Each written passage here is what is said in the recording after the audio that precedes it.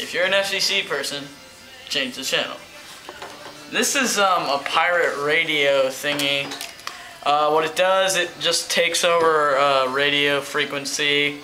It took us a while, but we finally found one that worked. So now when you talk into this, I can hear it from a radio somewhere else.